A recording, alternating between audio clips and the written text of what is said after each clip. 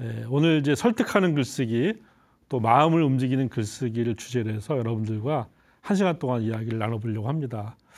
아, 오늘 여러분들하고 이제 이 글쓰기에 대해서 많은 이야기를 나누려고 하는데 먼저 제가 이제 어떻게 좀 여러분들하고 이야기 시작해 볼까 나름대로 고민을 해봤습니다. 아, 저는 이렇게 생각합니다. 많은 사람들이 이제 불교를 침묵의 종교라고 이야기를 하죠. 근데 저는 대화의 종교가 바로 불교라고 생각합니다. 불교에는 정말 수많은 대화의 기록이 남아 있죠. 그게 바로 팔만 대장경이죠. 부처님과 부처님의 제자들이 대화를 나눈 기록들. 이것이 팔만 대장경이고요. 저는 그런 점에서 이 우리가 불자라고 한다면은 또 불교인이라고 한다면은 무엇보다 말과 글을 잘 부려야 된다고 생각합니다. 부처님도 말과 글을 잘 부려서 결국 그 어떤 제자들을 그 깨우침의 길로 인도했다고 저는 생각이 들거든요.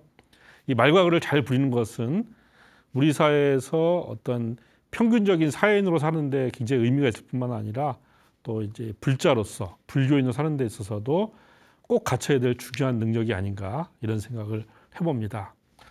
아, 그런데 우리가 이제 글을 쓰려고 하면은 첫 번째 이렇게 부닥치는 것이 바로 두려움이죠, 두려움. 그렇죠? 예.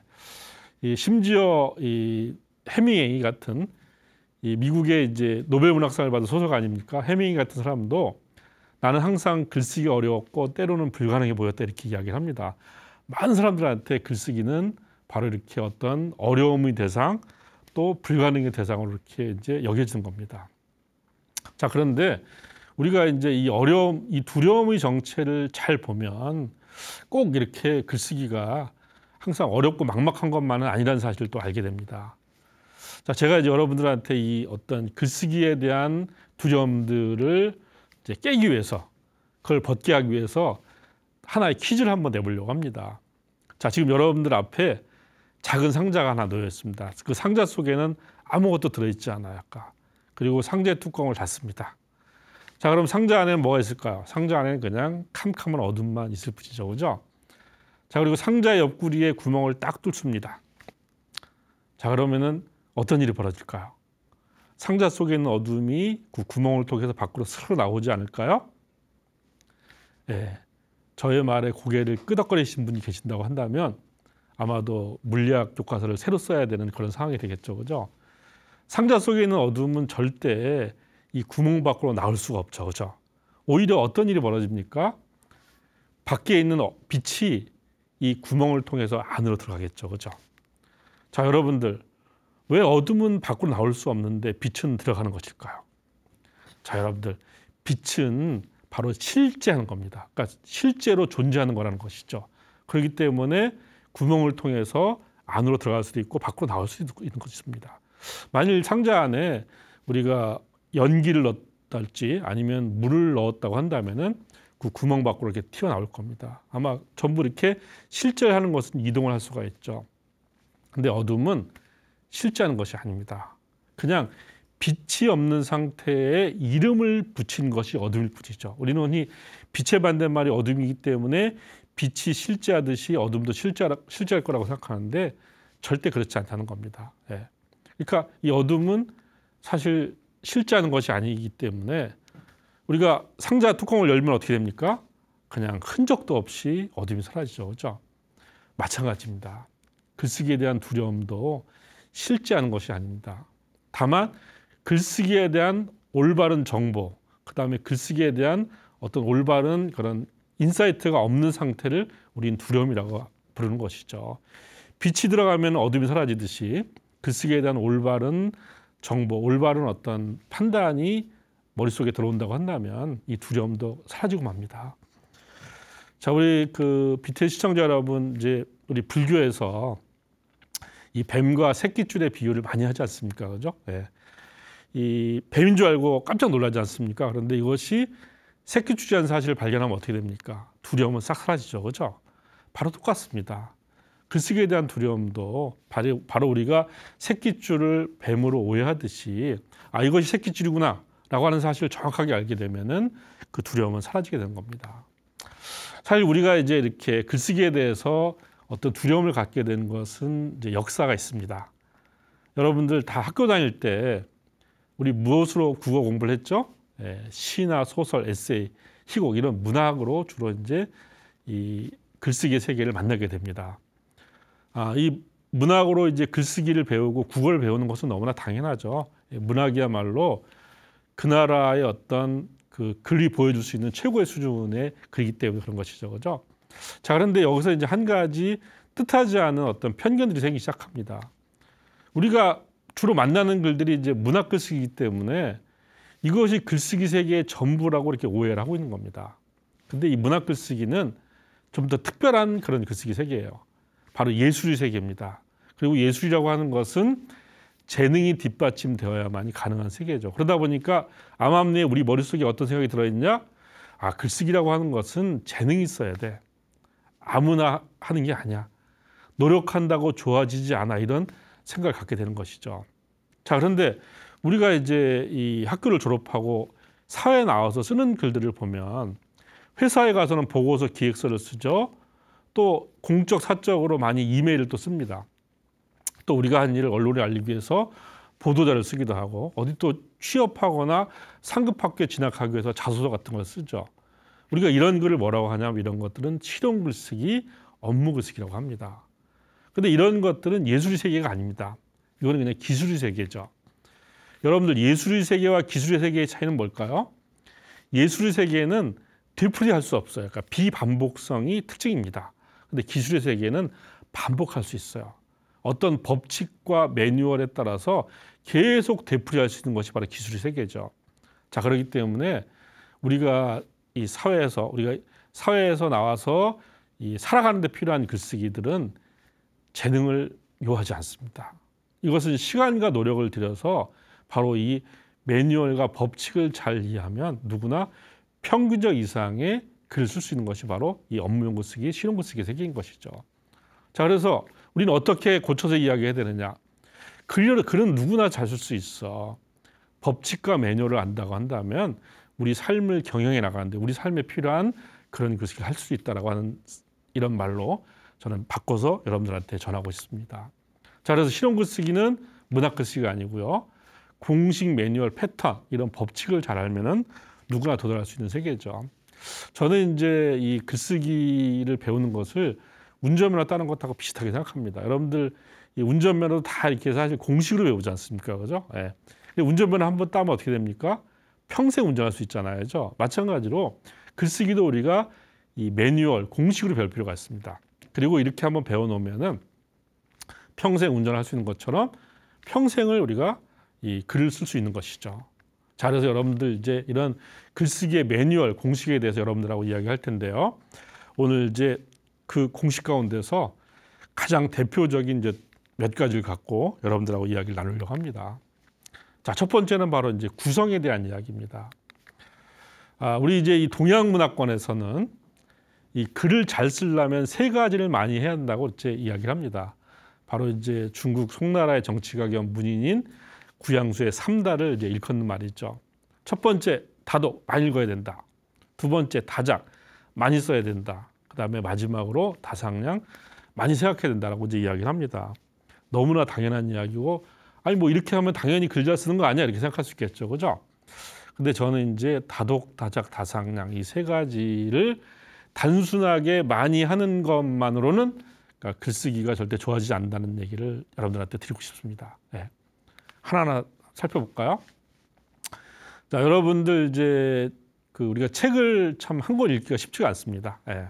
더구나 어떤 직장 생활을 하고 또 어떤 자기 생업이 있는 사람들은 정말 한 달에 한 권 책 읽기도 어렵죠, 그죠? 예. 자, 그런데 책을 한 권 다 읽고 나면 여러분들 도대체 뭐가 남습니까? 예. 대체로 뿌듯함이 남을 뿐이죠, 그죠? 예. 고생 고생해서 읽었는데 사실상 남는 게 별로 없습니다. 예. 그러니까 독서라고 하는 것은 이렇게 좀 어찌 보면은 별로 생산적이지 못한 그런 일일 수 있죠. 자, 그런데 이제 어떤 사람은 뭐 이렇게 얘기를 합니다. 콩나물 키우기하고 비슷하다고. 콩나물 실에 물을 부으면 어떻게 됩니까? 물이 쭉 빠지죠? 그렇지만 남아 있는 습기가 이제 콩나물 키우지 않습니까? 이렇게 남는 게 없는 것 같아도 우리의 생각들을 깊게 하고 또 지식을 넓게 하는 이런 작용을 한다고 합니다. 자, 그런데 사실 그렇게 따진다고 하더라도 이 별로 남는 게 없죠. 그죠? 근데 왜 남는 게 없는 걸까요? 그거는 이제 모든 사람에게 그냥 다 해당되는 이야기가 아닙니다. 우리는 무언가 한 가지를 빼놓고 읽고 있기 때문에 그냥 뿌듯함밖에 남지 않는 겁니다. 자, 두 번째 볼까요? 자, 무조건 많이 쓰면 잘 쓸 수 있을까요? 여러분들 혹시 수영을 해보신 적 있나요? 예. 이 수영을 할 때 무엇보다 중요한 게 뭡니까? 예, 바로 수영을 하는 자세, 바로 영법입니다. 이 수영을 하는 자세를 정확하게 배우고 이 수영을 해야만이 수영 실력도 늘고 또 운동 효과도 좋아진다고 합니다. 이런 것 그런 영법이나 이런 자세를 배우지 않고 그냥 개념 음식으로 막 하잖아요. 그러면은 실력도 늘지 않고 절대 이 어떤 운동에도 몸에도 도움이 되지 않는다고 이야기를 하죠. 그러니까 무조건 많이 한다고 해서 그것이 좋아지지 않는다는 겁니다. 바로 영법처럼 무언가를 잘 알아야만이 바로 이 우리가 노력한 것이 비로소 이제 결실로 이어진다고 볼 수가 있는 것이죠. 자, 생각을 많이 하면 잘 쓸 수 있을까요? 자, 여러분들 그 이 글쓰기와 한번 말하기를 제가 한번 이 구분해서 한번 여러분들한테 설명을 해보려고 합니다. 여러분들 말을 할 때 어떻습니까? 친한 지인들이나 이렇게 이 마음에 맞는 상대랑 대화할 때는 정말 머릿속에서 새로운 생각들이 팝콘처럼 막 튀어오르죠. 그죠? 예. 정말 우리가 말을 할 때는 뇌가 극도로 활성화가 됩니다. 자, 그런데 글을 쓰려고 컴퓨터 앞에 딱 앉았, 앉게 됩니다. 그럼 우리 머릿속에서 어떤 일이 벌어질까요? 머릿속이 하얘지죠. 그죠? 뇌가 극도로 비활성화됩니다. 여러분들 말하기나 글쓰기나 전부 언어를 매개로 하는 행위인데 왜 말을 할 때는 이렇게 뇌가 활성화됐다가 글을 쓸 때는 비활성화되는 걸까요? 그 이유가 도대체 뭘까요?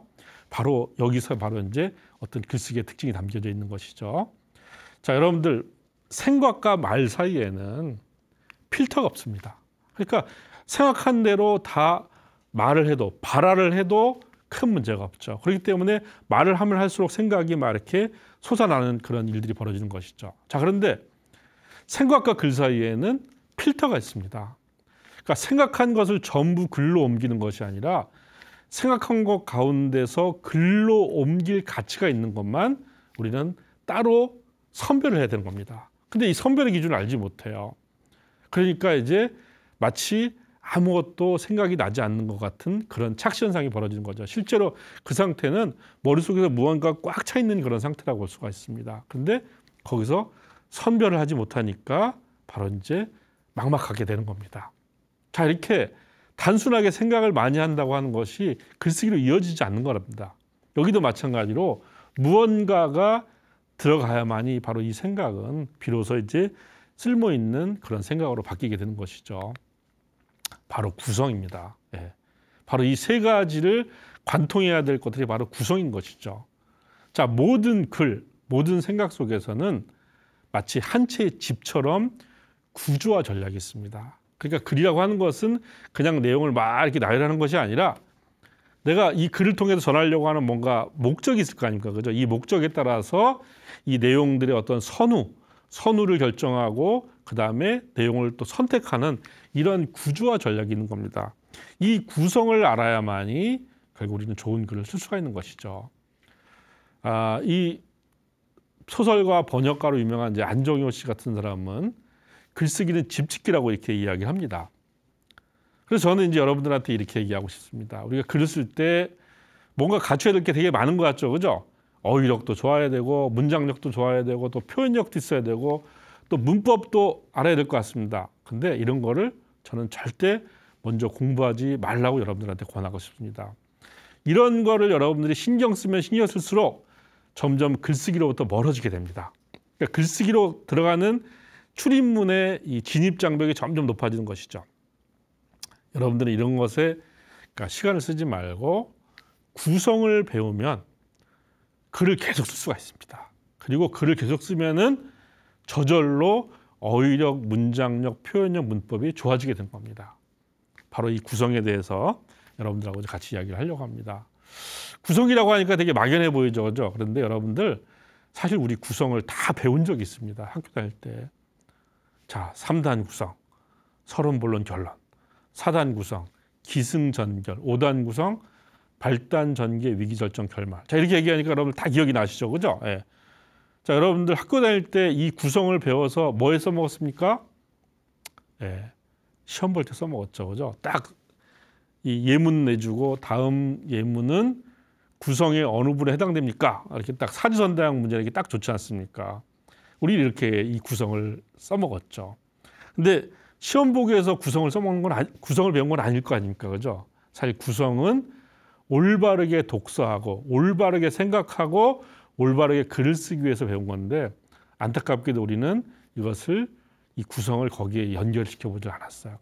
그러다 보니까 구성의 원리를 다 알고 있음에도 불구하고 우리의 글쓰기는 늘 이렇게 뭔가 이 길을 찾지 못하고 헤매는 거라고 보여집니다. 저는 바로 이런 이 구성을 우리 학교 때 배웠던 구성을 글쓰기로 연결할 수 있는 이제 이런 방법들을 여러분들한테 설명을 드리려고 합니다. 자, 3단, 4단, 5단 이렇게 나눠져 있지만 이것은 하나의 구성에 대한 그냥 세 가지 버전이라고 보면 됩니다. 자, 서기 발단 시작을 해야 되죠. 결결 결말 마무리를 해야 됩니다. 가운데를 본 하나로 보느냐 두 개로 보느냐 세 개로 보느냐의 차이만 있는 것이죠. 그러니까 글이라고 하는 것은 시작을 하고 그 다음에 중간을 이어가고 마무리를 하는 지극히 단순한 구조를 갖고 있다는 것이죠. 근데 그냥 시작, 중간, 마무리를 안다고 해서 글쓰기가 되는 건 아니죠. 그죠? 이걸 글쓰기로 연결하려면은 자, 시작의 특징은 무엇일까? 중간의 특징은 무엇일까? 마무리의 특징은 무엇일까? 바로 이 각각의 어떤 이 구성 요소의 특징들을 알아야만이 우리가 글쓰기 활용할 수가 있는 겁니다. 자, 여러분들 시작은 뭘까요?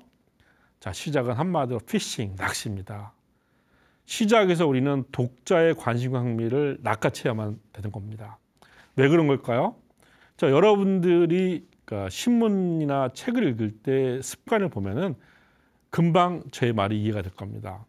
여러분들 신문 읽을 때 뭐 보고 기사 선택합니까? 제목 보고 선택하죠. 그죠? 헤드라인이 끌리는 걸 보고 그 기사를 읽습니다. 그리고 그 기사를 읽고 한 30초 지나 30초 정도 지나면 여러분들 머릿속에서 어떤 일이 벌어지나요? 이거 끝까지 읽어야 돼, 말아야 돼. 갈등 생기잖아요. 그죠? 근데 어떤 글은 끝까지 읽게 되고 어떤 글은 읽다가 중간에 포기하고 말죠. 다른 글로 넘어가 버리죠. 바로 이것을 그러니까 이렇게 끝까지 읽게 되거나 아니면 중간에 포기하게 되는 이 갈림길을 좌우하는 게 뭘까요? 그게 바로 그 글의 임팩트입니다. 예. 주로 이 임팩트는 두 가지 측면에서 나타나는데 하나는 야 이거 정말 중요한 거야 나한테 필요한 거야 바로 이 중요라고 하는 게 하나가 있고 또 하나는 야 이거 정말 재밌네 바로 흥미라고 하는 관점이 있습니다. 그러니까 중요하거나 흥미롭거나 무언가 독자한테 강한 임팩트를 주어야만이 나의 그런 독자한테 선택을 받는 겁니다. 그냥 사람들이 읽기 시작하면 자동으로 끝까지 읽게 되는 게 아니라는 것이죠. 실제로 이제 학자들이 한번 분석을 해봤습니다. 그랬더니 독자들은 어떤 글을 읽을 때 30초 안에 그 글의 임팩트, 매력을 느껴야만이 3분간 집중할 수 있고 또 3분간 집중해야 30분간 지속적인 관심을 가질 수 있다고 합니다. 여러분들의 글이 누군가한테 3분간 집중을 받거나 30분간 지속적 관심을 걷기 위해서는 우리 어떻게 됩니까? 바로 최초의 30초인 바로 시작 부분에서 바로 임팩트를 만들어야 되는 것이죠. 바로 독자의 관심 흥미를 낚아채야 되는 겁니다. 우리는 그냥 한가하게 시작하는 것이 아니라 독자가 이 글을 끝까지 읽게 만드는 알리바이를 바로 이 시작 부분에서 만들어야 되는 것이죠. 자, 또 중간은 무엇일까요? 자, 중간은 바로 리즈닝, 근거라고 할 수 있습니다. 자, 우리 시작을 했으면 독자에게 관심 흥미를 낚아챘다고 한다면 그거에 합당한 근거를 제시하는 겁니다. 근거에는 여러 가지가 있겠죠. 어떤 사실, 사례, 통계, 인용, 비유, 논리 이런 다양한 방법으로 근거를 제시하는 겁니다. 가끔 이제 우리가 이 인터넷 뉴스에 보면은 이 낚시 낚시성 제목 기사를 보게 되죠, 그죠? 제목에 끌려서 딱 들어가 봤더니 안에는 허당인 기사를 만나게 되죠. 이건 뭐냐면 바로 피싱은 했지만 근거를 제시하지 못하는 글이 됩니다. 이런 글 보면 어떻게 됩니까? 아 이거 속았구나. 그냥 이 글에 대한 신뢰도가 와장창 무너지죠. 그죠? 예. 바로 우리는 중간에서 바로 이런 다양한 어떤 방법을 통해서 근거를 제시하는 겁니다. 자, 마무리는 뭘까요? 마무리는 단순하게 그 글을 이렇게 정리하는 게 아닙니다. 마무리에서 우리가 해야 될 일은 뭐냐면 이 글을 읽은 사람에게 생각의 변화, 행동의 변화를 줄 수 있는 메시지로 끝나야 되는 것이죠. 그래야만이 우리 글은 비로소 그 사람의 어떤 뇌리 속에서 그 사람의 마음 속에서 살아남게 됩니다. 자 이렇게 우리는 자 피싱을 하고 그 다음에 리즈닝을 제시하고 메시지를 던지는 바로 이런 방식으로 글을 전개해 나가야 되는 겁니다. 이걸 제가 이제 앞에 이니셜을 따봤습니다. 피레미 여러분들 피레미 아시죠? 네.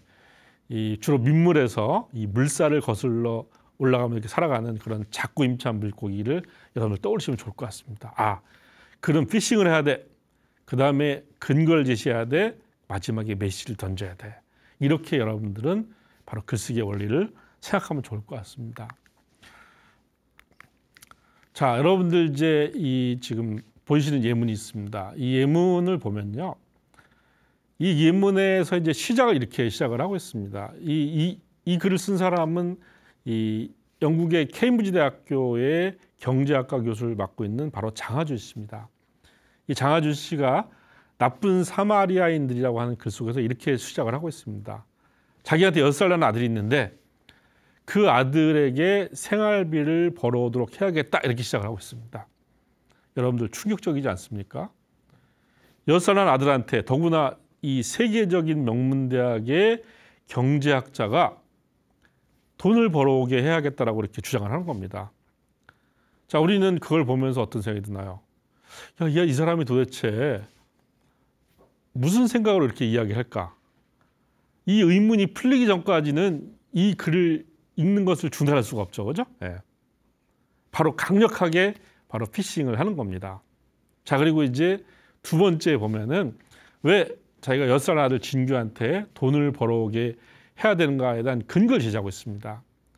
자, 아이가 돈이 중요한 줄 모르기 때문에 돈이 중요한 줄을 알수 있도록 해줄 수가 있고 또 부모가 자기를 보호해주는 것, 보호해주는 것에 대해서 또 고마움을 느끼게 할 수가 있고 그 다음에 생산적인 인간이 될 수 있고 그 다음에 이 미래 아이 발전에 더 많은 도움이 되고 힘든 일을 감당할 수 있는 정신력을 갖추게 된다. 이렇게 다양한 근거를 제시하고 있습니다.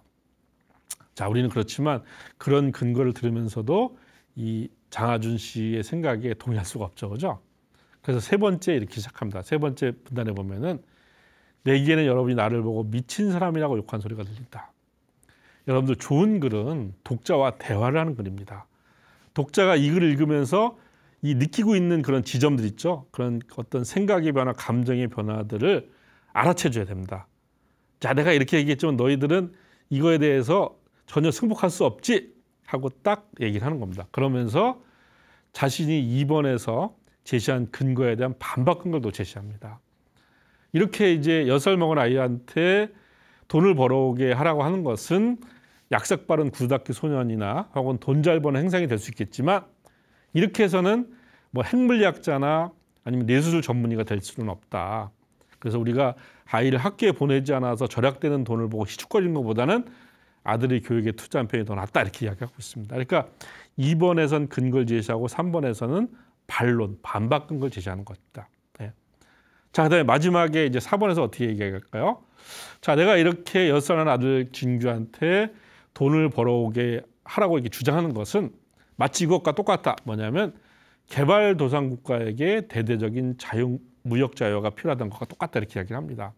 우리 그 순간에 어, 무역 자유화는 무조건 좋은 거 아니야? 라고 하는 우리의 어떤 고정관념, 통념들이 딱 깨진 것이죠.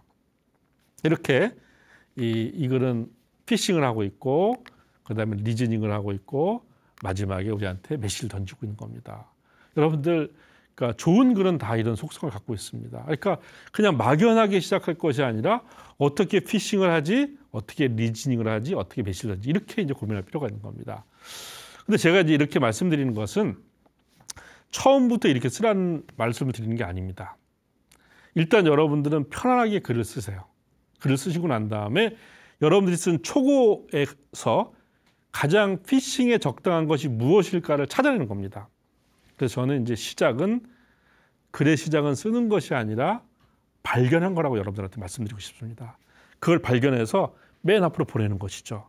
자, 이렇게 fishing이 만들어지면 거기에 이제 따라서 reasoning과 메시지가 만들어진 것이죠. 그래서 여러분들이 이제 초고를 쓰고 퇴고를 할 때 바로 이 fishing reasoning 메시지 바로 이 구성의 원리를 적용을 했으면 좋겠다는 말씀을 드리고 싶습니다. 자 이제 두 번째는 핵심입니다. 아까 말씀드렸죠. 글이라고 하는 것은 생, 생각한 걸 다 전달하는 것이 아니라 그 가운데서 글로 옮길 가치가 있는 것만 선별하는 거라고 이야기를 했습니다. 자, 마치 코끼리를 냉장고에 집어넣고 똑같다고 할 수가 있습니다. 이게 뭐냐면 생각은 코끼리처럼 큽니다. 그러나 우리는 작은 냉장고에다가 코끼리를 집어넣어야 되는 것이죠. 네. 자, 여러분들 코끼리 냉장고에 집어넣은 거 알고 계시죠? 네. 문을 연다, 코끼리를 집어넣는다, 문을 닫는다. 네. 제 저의 이 얘기를 듣고 웃는 분은 저랑 비슷한 세대입니다. 네. 요즘에 젊은 세대들은 이런 얘기를 하면 표정이 굳어지더라고요. 네. 전설의 아재 개그입니다. 네. 자, 근데 이제 코끼리를 이렇게 우리가 농담의 세계에서 이렇게 집어넣지만 현실은 어떻습니까? 현실에서 가능한 방법들은 코끼리를 냉장고에 들어갈 사이즈만큼 잘라서 넣을 수밖에 없죠. 결국 바로 이 선별의 과정이 필요하다는 겁니다. 자, 그런데 우리는 이제 콘텐츠, 아이디어, 텍스트를 재료로 해서 글을 씁니다. 콘텐츠라고 하는 것은 현실에서 존재하는 유형 무형의 어떤 내용들을 콘텐츠라고 합니다. 아이디어는 머릿속에 들어있는 생각, 텍스트는 이미 활자되어 있는 자료들 이런 걸 갖고 우리는 이제 글을 쓰게 되는 거죠. 그런데 얘들은 어떤 속성을 갖고 있냐면 이렇게 그림에서 보듯이 사과 씨와 같은 핵심을 갖고 있습니다. 그리고 사과씨를 둘러싸고 넓게 과육이 이렇게 형성되고 있죠. 그죠? 이 과육을 우리는 참조라고 합니다. 자, 제가 선별을 한다 그랬죠. 그죠? 그럼 어떻게 됩니까? 바로 이제 사과씨를 중심으로 핵심을 중심으로 우리는 선별할 수밖에 없죠. 그러려면 어떻게 되죠? 핵심이 무엇인지 참조가 무엇인지 알아야 바로 그것이 가능하죠. 그래서 여러분들은 어떤 경우에도 핵심이 무엇인지를 알고 글을 써야 됩니다. 그래야만이 바로 제대로 된 글을 쓸 수가 있는 것이죠. 자, 핵심이란 말은 이제 영어로는 뭐 코, 뭐 키포인트라고도 하고요. 우리말 유효 사전에 보면은 뭐 골자, 요점 중에 이렇게 다양한 뜻 쓰입니다. 자, 그렇지만 핵심은 법칙을 갖고 있습니다. 그 법칙은 뭐냐면 바로 용건 그리고 이유와 근거입니다. 용건이라고 하는 것은 그 문서를 통해 전하려고 하는 최종적 결정 궁극적 판단이 바로 용건입니다. 우리는 바로 이 결정 판단을 주고받기 위해서 우리가 글을 쓰는 겁니다. 여러분들 부처님의 법문을 보시면 이 부처님의 법문에도 전부 다 결정 판단입니다. 부처님은 이 결정 판단이 아닌 이야기를 하신 적이 없어요. 그러니까 항상 우리한테 어떤 결정을 내리게 해주고 어떤 판단을 내리게 해주고 바로 이런 것들이죠. 여러분들 직장 내에서 아마 이제 보고를 해보신 분들은 잘 알 겁니다. 보고 내용이 모호하고 중구난방이 되면 여러분들의 상관이 뭐라고 이야기합니까? 용건이 도대체 뭔데요? 용건만 한번 간단하게 이야기해 보세요. 이렇게 얘기하지 않습니까? 바로 그 용건입니다. 그러니까 우리는 항상 이 용건을 주고받기 위해서 바로 글을 쓰고 말을 하는 것이죠. 근데 이 용건만으로는 읽는 독자를 충분히 설득할 수가 없습니다. 그래서 바로 이 용건을 설득하기 위한 것이 바로 이유와 근거입니다. 근거는 사실, 사례, 통계, 인용, 비유 이렇게 이제 개별적이고 구체적인 케이스가 바로 근거입니다. 그리고 근거가 많잖아요. 그러면 이걸 이렇게 비슷한 것끼리 이렇게 이제 묶어주는 것이죠. 추상화 보편화는 바로 이유. 바로 논리 개념 추론이 바로 바로 이유입니다. 이렇게 우리는 이유와 근거로 용건을 설득하는 방법들을 배울 필요가 있습니다. 자, 여러분들 이거는 이제 한편의 또 칼럼입니다. 배달앱 셀카봉의 슬픈 이메일이라는 칼럼인데 이런 칼럼 속에서 어떻게 이제 용건 이유 근거가 나타나는지 한번 또 살펴보도록 할게요. 자, 이 글에서는 도대체 어떤 결정의 내용, 어떤 판단의 내용을 전하려고 하는 걸까요? 자, 여기는 보시면 자, 디지털 사회가 됐기 때문에 사람들 간에 어떤 말을 하기가 더욱 어려워지는 단절 시대가 찾아왔다고 하는 게 바로 이걸 용건입니다. 그러니까 디지털 사회가 되어서 소통을 강조하는데 오히려 말하기가 더욱 어려워졌어. 이런 결정 내용, 판단 내용을 전하기 위해서 바로 이 글을 쓴 겁니다. 여러분들이 이걸 이렇게 이것만 들었다고 쳐보세요. 야, 디지털 사회가 돼서 요즘에 사람들하고 말하기가 정말 어려워졌어. 소통이 잘 안 돼. 자, 이렇게 이런 얘기를 들으면 여러분들 어떤 생각이 드나요? 그런가? 맞는 말 같기도 하고 아닌 것 같기도 하고. 그렇죠? 자, 이렇게 용건만 전하면 이제 요 정도 수준에서 사람들이 이제 일을 하죠. 자, 그런데 바로 이 용건을 설득하는 게 뭐냐면 자, 배달앱은 배달앱 때문에 전화 통화를 하지 않고도 손가락 터치만으로 음식 배달할 수가 있어. 셀카봉 때문에 사진 찍어달라고 하지 않고도 사진을 찍을 수 있어. 자, 이 두 가지 근거를 들으면 어떻습니까? 아, 맞네. 정말 그러네. 정말 우리가 이 배달앱이나 셀카봉 같은 디지털기기 때문에 말이 사라지고 있네. 금방 알게 되죠. 그죠? 바로 이런 것들을 우리가 글 속에서 바로 집어넣어야 되는 겁니다. 그러니까 이런 글이 있는 것은 누군가 설득할 수 있지만 이렇게 용건과 근거 이유가 있는 글은 설득할 수 있지만 그게 없는 글은 누군가 설득할 수가 없는 것이죠. 그러니까 여러분들은 바로 이러한 원리를 알고 바로 구성과 핵심이라고 하는 이런 원리를 갖고 한 편의 글을 써야 되는 겁니다. 그래야만이 여러분들의 글은 누군가에게 전달되어서 그 사람의 마음을 움직일 수가 있는 것이죠. 부처님의 말은 글이 되었고 그 글이 2,500년 동안 수없이 많은 사람들의 마음을 움직였지 않습니까? 마찬가지입니다. 여러분들의 글도 부처님의 법문처럼 누군가의 마음을 움직일 수 있는 그런 것이 되기를 기대하는 마음으로 강의를 마치도록 하겠습니다. 경청해서 감사합니다.